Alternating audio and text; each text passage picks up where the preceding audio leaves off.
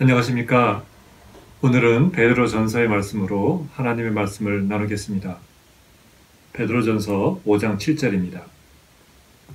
여러분의 걱정을 모두 하나님께 맡기십시오. 하나님께서는 여러분을 돌보고 계십니다. 말씀을 한번 더 읽습니다. 여러분의 걱정을 모두 하나님께 맡기십시오. 하나님께서는 여러분을 돌보고 계십니다. 주님은 우리 자신을 주님께 맡기라고 당부하십니다. 시편 55편 22절에서도 같은 말씀을 합니다. 너희의 짐을 주님께 맡겨라. 주님이 너희를 붙들어 주실 것이니 주님은 의로운 사람이 망하도록 영영 그대로 버려두지 않으실 것이다. 여기서의 짐은 삶이라고 표현해도 좋습니다. 하나님께서는 우리에게 우리의 삶을 하나님께 다 맡기라고 당부하십니다. 주님께서 우리를 붙들어 주실 것이기 때문에 그 믿음을 가지고 하나님께 우리의 삶을 모두 맡기도록 당부하십니다. 사람은 무엇인가에 자기 자신을 맡기고 삽니다. 나는 아무도 믿지도 않고 의지하지도 않는다. 나는 하나님도 의지하지 않는다. 라고 말하는 사람조차도 가만히 들여다보면 무엇인가에 자기 자신을 내어 맡기고 살고 있음을 알게 됩니다.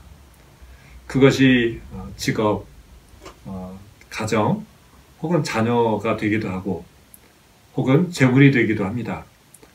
어떤 사람은 자기의 경험과 자기의 지식에 자기 자신을 의지하고 삽니다. 어떤 사람은 죄와 악행과 방탕에 자기 자신을 맡기고 살기도 합니다. 여전히 죄 가운데 머물러 있다면 그는 자기 자신을 죄에 맡기고 살고 있는 것이지요. 우리 자신을 무언가에 내맡겨 놓았다면 우리는 그것에 복종하며 사는 것이고 그것의 종으로 살고 있는 것과 진배 없습니다.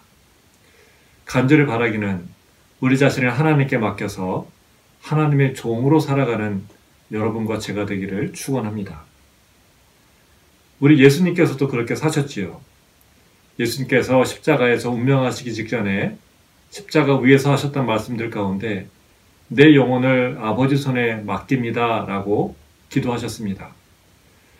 예수님이 십자가 위에서 운명하실 때에만 자기의 영혼을 하나님께 맡긴다고 했던 것이 아니었습니다.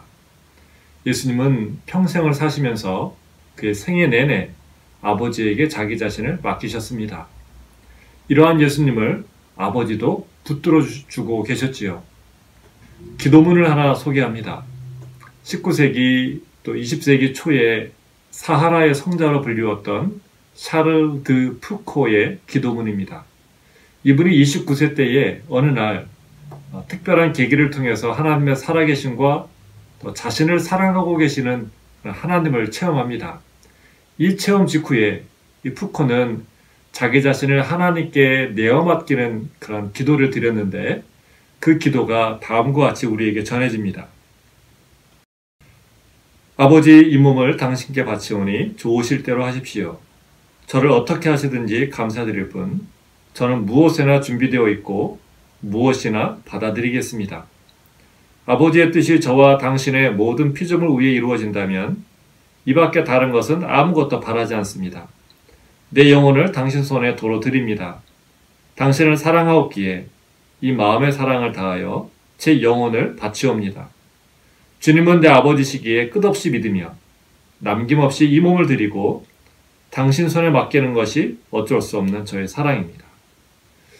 주님은 내 아버지이시기에 끝없이 믿으며 남김없이 이 몸을 드리고 당신 손에 맡기는 것이 어쩔 수 없는 저의 사랑입니다. 하고 고백했던 푸코였습니다.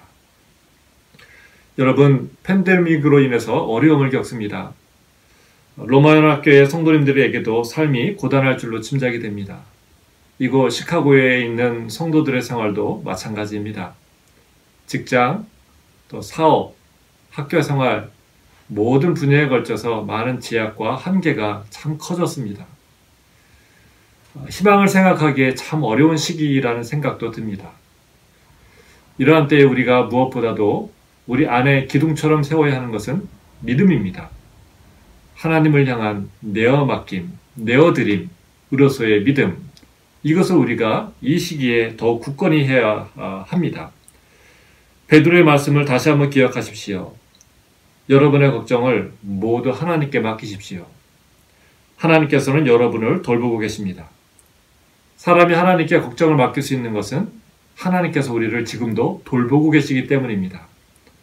나를 신경 쓰지 않는 사람에게 나는 아무것도 맡겨드릴 수가 없는 법이지요.